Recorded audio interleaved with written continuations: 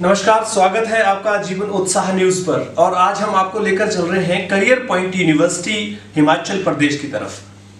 जैसा कि आप जानते हैं कि भारत सरकार का उन्नत भारत अभियान एक बड़ा मंच है और एक बड़ा माध्यम है। उन गाँव के लोगों को जागरूक करने के लिए, उनकी समस्याओं का समाधान करने के लिए और उनको रोज़गार देने के लिए। बारे में हम बात कर रहे हैं। इसमें पहले आईआईटी इसको ऑर्गेनाइज कर रहा था, इसको कोऑर्डिनेट कर रहा था, लेकिन अब भारत सरकार ने रीजनल जो इंजीनियरिंग कॉलेज हैं, उस जिसमें एनआईटी हमीरपुर आता है, उनको अब इसके कोऑर्डिनेशन के लिए नियुक्त किया है। और इस कोऑर्डिनेशन में जो कोऑर्डिनेटर बनाए गए हैं मिस्टर विजय शंकर डोगरा जी, आप समझ सकते हैं, पूरे हिमाचल प्रदेश के लिए नियुक्त किए गए हैं भारत सरकार द्वारा। चलिए आपकी बात कराते हैं और उनसे समझते हैं, क्या है उन्नत भारत अभियान? और किस तरह से ये समाज के उत्थान के लिए, लोगों के उत्थान के लिए कार्य करता है। उन्नत भारत अभियान के तहत आज सबसे पहले तो आपको बधाई कि आपको एक कोऑर्डिनेटर के रूप में अपॉइंट किया गया है।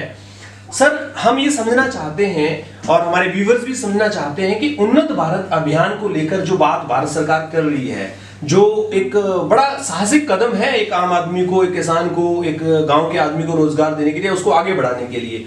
सर सबसे पहले तो आप क्या कहना चाहेंगे इस उन्नत भारत अभियान को लेकर? और फिर आपकी क्या क्या प्रायोरिटीज रहेंगी इस कोऑर्डिनेशन के अंदर? वो प्लीज़ आप बताएँ। उन्नत भारत अभियान जो है, ये महात्मा गांधी जी के सपने को साकार करने के लिए भारत सरकार ने चलाया है, जिसमें कि जो ministry of human resources development है, उसने, उसके अंडर ये आता है।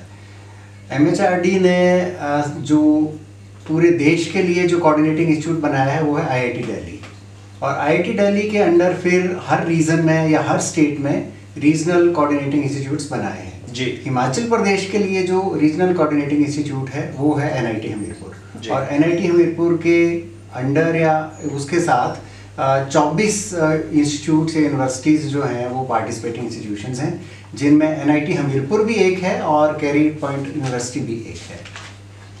इसमें मुख्य चीज़ यही है कि जो इसका मैंडेट है वो यही है कि स्वच्छ भारत सक्षम भारत शिक्षित भारत स्वावलंबी भारत और संपन्न भारत। जी। कि जिसमें के सारे इंस्टीट्यूशंस को ये रिस्पॉन्सिबिलिटी दी हुई है कि वो अपने आसपास के कोई पाँच गाँव अडॉप्ट करें और उन गाँवों में जाके वहाँ के लोगों से मिलके जो पंचायत के रिप्रेजेंटेटिव हैं उनसे मिलके वहाँ की समस्याओं का पता लगाएँ या जिस तरीके से भी वो लोगों के रहन सहन को बेहतर बनाने के लिए काम कर सकते हैं वो पता लगाएँ कि कैसे किया जा सकता है और फिर उन चीज़ों पे काम करें वर्क करें और वहाँ के लोगों की हेल्प करें। पॉइंट यूनिवर्सिटी इसके ऊपर कार्य कर रही है। हम भी काफ़ी पिछले छः आठ महीने से ही देख रहे हैं कि उन्नत भारत अभियान को लेकर इन्होंने बड़ा अच्छा कदम उठाया हुआ है।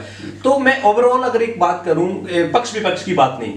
करियर पॉइंट यूनिवर्सिटी का जो रोल रहा है अब तक पिछले छः आठ महीनों में तो पूरे हिमाचल के अंदर अगर देखा जाए तो मैं ये मानता हूँ कि इसमें आपका क्या कहना है कि सबसे बेहतर रोल अभी किस यूनिवर्सिटी का रहा है हिमाचल प्रदेश? बिल्कुल, इसमें तो कोई दो राय नहीं है कि कैरियर पॉइंट यूनिवर्सिटी जो है, वो पिछले कुछ टाइम से बहुत अच्छा काम कर रही है और इन्होंने जो भी एक पत्थर मेकिंग का प्रोजेक्ट मशरूम्स वाला प्रोजेक्ट ये मतलब पूरे कर लिए हैं कंप्लीट कर लिए हैं और जिस तरह से गाँव का इसमें पार्टिसिपेशन है गाँव के लोगों का पार्टिसिपेशन है, वो हम न्यूज़पेपर में भी विजिबिलिटी हम देखते रहते हैं, उसमें भी पता लगता है और अदरवाइज़ भी जितनी भी हमारी कम्युनिकेशन इनके साथ हुई है, ये बहुत अच्छा काम कर रहे हैं। और मुझे ऐसा लगता है कि एनसीआई को आई टी दिल्ली को और भारत सरकार को इनको और प्रोत्साहित करना चाहिए, ताकि ये और अच्छा करें और बाकी इंस्टीट्यूट्स जो पार्टिसिपेटिंग इंस्टीट्यूट्स हैं, वो भी इनको देख के और आगे बढ़ें।